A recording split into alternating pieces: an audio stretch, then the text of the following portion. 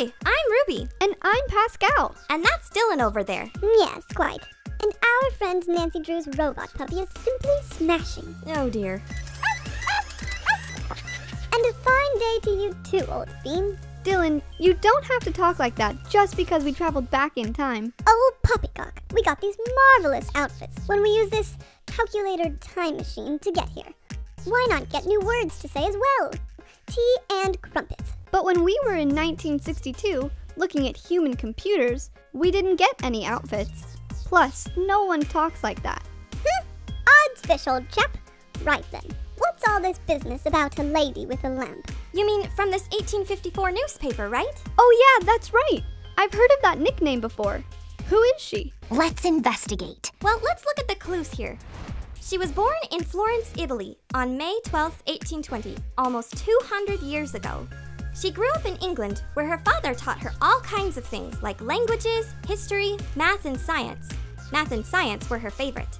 When she was 17, she believed she was called by God to go into service as a nurse, which her family really didn't like.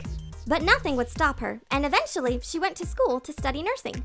In 1853, she became the superintendent of a women's hospital in London. Wow, that's great! Yeah, Yes, good show. But how did she get the nickname of Lady with the Lamp? And why would her family not want her to become a nurse? By Jove, nursing is a wonderful profession, yes. Well, back then, it wasn't quite so wonderful.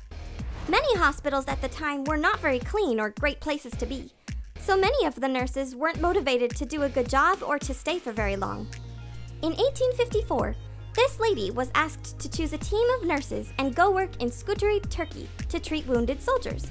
When she got there, she discovered that the hospital there was much worse than many of the ones back in England. In fact, a lot of the soldiers that ended up there did not get better. She quickly got to work cleaning and fixing things up, and with a few big changes, the soldiers' health rapidly improved.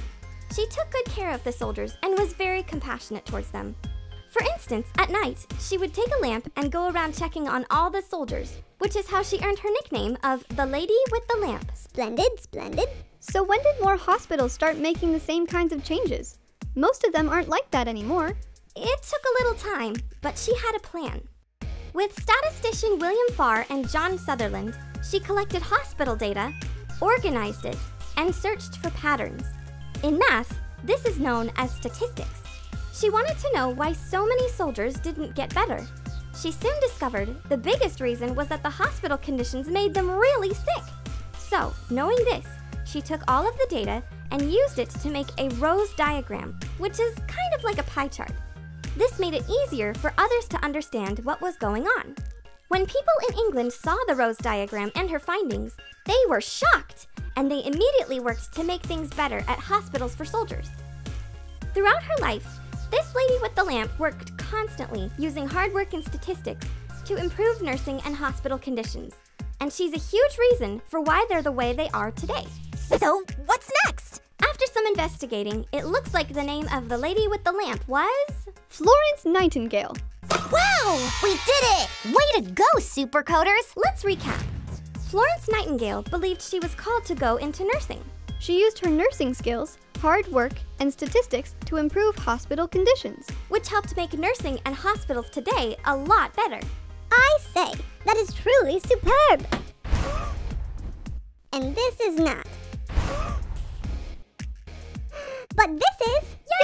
Yay! Robot Puppy! Oh, wow, this is great! So we finally made it We're back! forever. Wait, Robot Puppy, did you bring us back home? What? How?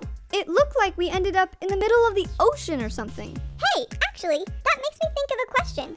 So at night, Florence Nightingale brought a lamp with her so she could tell where she was going.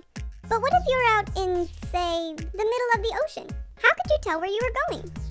I don't know, but we're gonna find out. Want to help Nancy Drew and Robot Puppy and become a super coder? Head over to the Apple, Google Play, and Amazon app stores and find out more today.